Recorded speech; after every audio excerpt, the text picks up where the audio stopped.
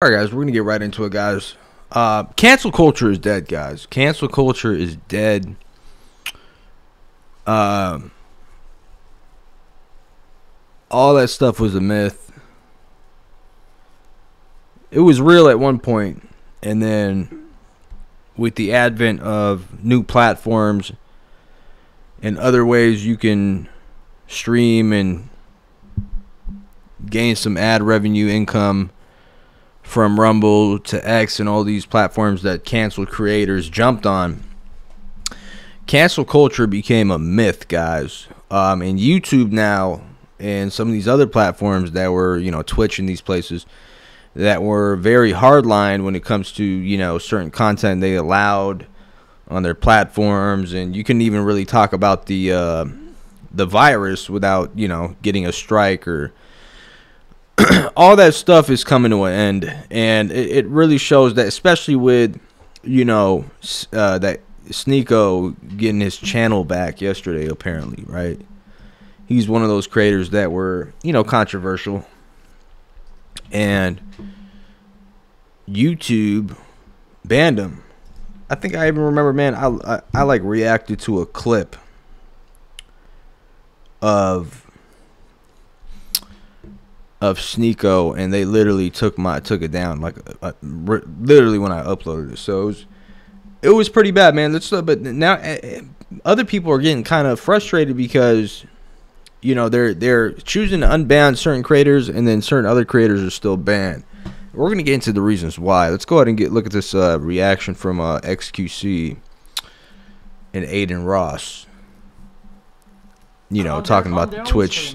Okay and the shit that Sneako says is is not tolerated on Twitch, legitimately. Okay, the fact that he's unbanned, which means that he would be doing um, fantastic behavior-wise, and he's being exemplary behavior. The fact that he gets unbanned while going on some insane shit that he says on his stream, brother, come on, come on, bro. That means Twitch is, like, bro. How can you say you, that, that you ban who gives a fuck what he got banned for? He's getting he got unbanned while still going on like some some random tirade that would get anybody else banned for their off-platform behavior. What? Huh? I mean, dude, I I've been said this, bro. Y'all y'all are like literally not y'all are fucking taking what XQC's fucking saying. XQC's not fucking hating on him being on unbanned. He's basically saying like the platform. You guys are missing what he's saying. You fucking retards. Listen to what he just said. He's right. Technically, I should be on unbanned on Twitch if Sneak was on unbanned on Twitch. He's right. He's right. He's not wrong. He is not hating. The other clip, I get what y'all are saying. He's not hating on him this time. He's saying the platform doesn't make sense. It's not consistent. He's right. Twitch chooses what they wanna, who they wanna unban and stuff. It's not consistent. I should be unbanned. I should be unbanned on Twitch, not based off my off-stream shit I've been saying and doing. I should be unbanned if, if Sneako is unbanned, if all the Fresh and Fit's unbanned on Twitch. I should be unbanned as well. Yeah, see, I don't, I don't agree with what he's saying, guys. Because the look, this is the reality. These platforms, there's so many different platforms out right now, from Kick to Rumble to Twitch to all these. There's there's even platforms we haven't even heard about and they're all competing for like the same creators to hop onto their uh, platform, right? The same creators that are in like you know the top one percent creator, like with a huge following, and so Twitch is not stupid, man. Like they they're gonna see that you know Sneako, for example, is banned on YouTube, and he's doing really well on Rumble, right? and they just see dollar signs. They're like, "Oh, okay, he's doing really well on Rumble. Hey, he could probably earn more money with us, right? And with Kick, if we kind of, you know, he's kind of toned his rhetoric down. He's not really, he's doing more like IRL religious stuff. Let's just, you know." Let's let's let's let's play you know let's play chess not checkers man let's get him on Twitch let's unban him on Twitch so that way you know uh, we could steal that client from from Rumble, isolate Rumble, you know, get him on Twitch, and we know that he's not going to be on YouTube because YouTube is pretty much finito. And YouTube's to see that and be like, "Oh, he's on Twitch and Kick now." Um, no. You know, now now they see they see that as a threat. Now YouTube's to unban his his channel and be like, "Oh, well, you know, uh, we we look look looked at your strikes and stuff like that, and then you know, uh, we noticed you tone tone it down a little bit." let's go ahead and just you know we, we don't even care about all the stuff you said, all the uh, comments you made about you know the JQ and and the uh, the Rona and all that. Let's just let's just put your channel back up, man. Just come stream with YouTube because we're we're gonna pay you more. You know, forget about Twitch and, and and Kick and all these other places. So that's how the game works, man. Like they're not, and then Adin Ross being a heavy hitter Kick is Kick is not to allow him to leave their platform. Kick is Kick is not going to allow them to leave his leave their platform. They're going to do anything or as much as possible not to allow Twitch and all these places to unban him so they can they can steal viewership from from his platform on Kick or uh, whatever he streams at.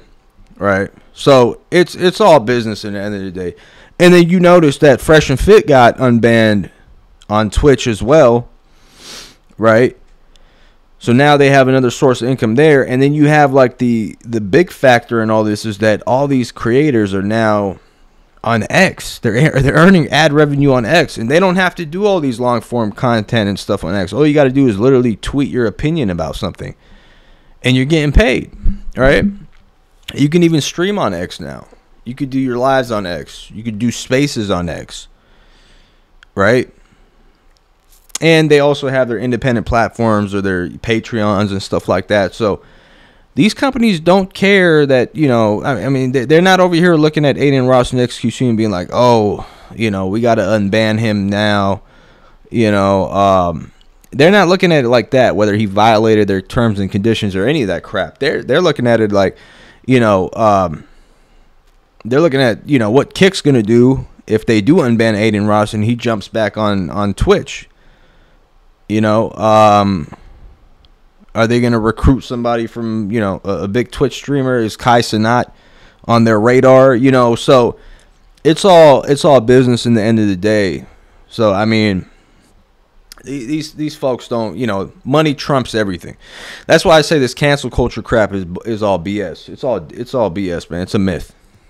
You know, because yeah, okay, the guy might get canceled. People bank on the fact like okay yeah that you know the creator might die down. We canceled him you know we're, we're gonna just wait it out and see if he just dies down then we could just get rid of him. We don't like his rhetoric anyways. But then the creator gets even bigger. Like when they canceled sneako he got he got way bigger than uh you know what he was on youtube beforehand. And he's he's he's at his you know peak right now honestly. He's he's he's killing it on on rumble. So they're gonna see that and be like oh man it didn't work oh man, he's still on X with with a hundred thousand followers. You know, this guy's not going anywhere. Okay, we'll just, you know, we'll just we'll just make amends, you know, and and have him come back on the platform and stuff. So, in my opinion, you know, Sneako should just ride it out with Kick or Rumble or any of these other platforms.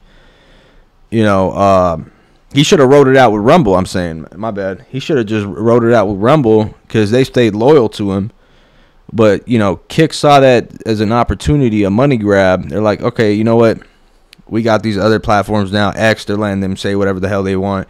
We can't enforce these policies like that anymore. You know, let's just let's just let's just try to recruit him, and we'll give him a million on top of whatever Rumble's giving him because they, you know, they're the ones with the money.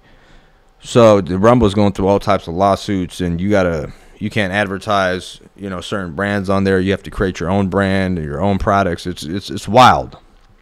They're like we could easily scoop up Sneako and just have you know just keep doing the Muslim content.